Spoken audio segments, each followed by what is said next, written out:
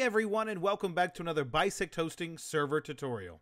In today's tutorial, we're going to go over how to use the Instance Manager on the Bisect Hosting Games panel.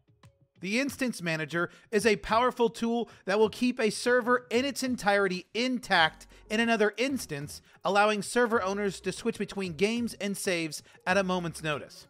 Doing so is very simple and can be done with a few clicks. First, we're going to log into the Bisect Hosting Games panel and choose our server. Next, on the server, we're going to choose the Stop button. Once stopped, we are going to go where it says Currently Hosting, and we're going to select the Switch button. Here we can select which game or installation we want to switch to. For this tutorial, we're just going to switch to 7 Days to Die.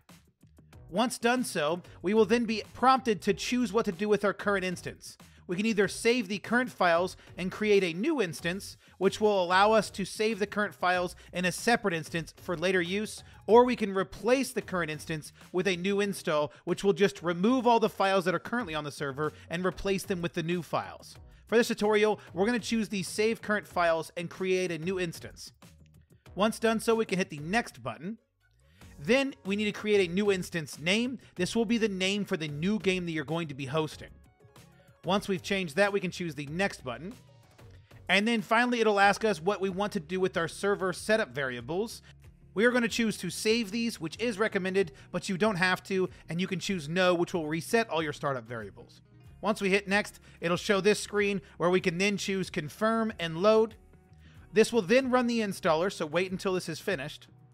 Once this is finished, we can start our server and we'll have now created a new instance on our Bisect Hosting Games panel. If we want to switch the current instance, we can go to the Instances tab. We can choose the desired instance in which we want to switch to and click the Swap button. Then finally, choose the Swap Instance button. This will then swap to the previous instance or any instance that you chose, and it will run the installer just like the last time. Once the installer is done, you can start the server and you can change between instances that easily in the instance menu. If you have any questions, check out our knowledge base, bisecthosting.com slash KB, or you can submit a support ticket on our website. If this guide was helpful, make sure you hit that like button, subscribe for more content like this, comment down below which guide you would like to see next, and we'll see you around.